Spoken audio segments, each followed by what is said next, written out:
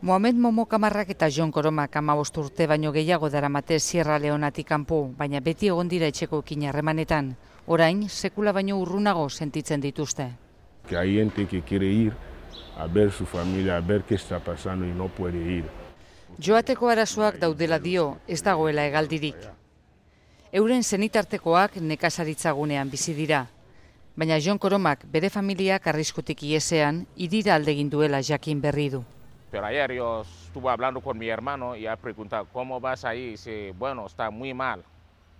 Pero toda la familia ya viene en la ciudad.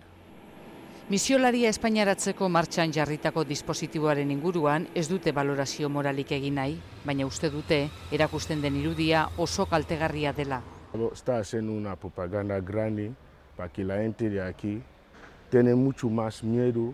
Laguntzen joanei dutenei ikara baino ez dielako eragiten. Baliabide medikoak Afrikaratzeko eskatzen dute.